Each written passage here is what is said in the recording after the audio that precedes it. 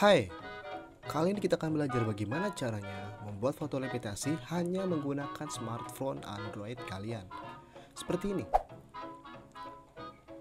Bersama saya Rizky Alam dari rizkyalam.com.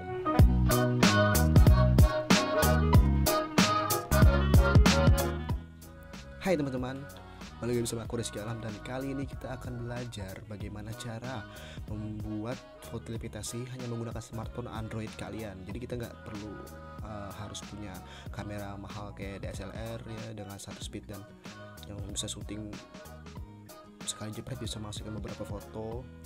Nah itu uh, oh ya sini uh, sedikit penjelasan. Foto levitasi adalah suatu teknik dalam fotografi Teknik ini membuat objek yang difoto terlihat seolah-olah menjadi seperti melayang. Dalam pembuatannya, teknik ini dapat dilakukan dengan menggunakan proses edit maupun tanpa edit atau manual.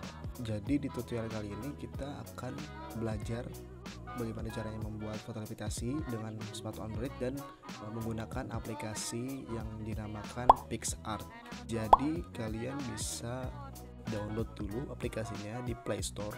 Cari aja namanya PixArt. Nah, Nah, setelah kalian sudah download aplikasi PixArtnya, uh, langkah selanjutnya adalah kita akan melakukan proses uh, pemotretannya. Di sini kita akan melakukan dua foto. Foto yang pertama adalah foto tanpa orang, tanpa model, dan foto yang kedua adalah foto dengan model dengan alat bantu menggunakan kursi.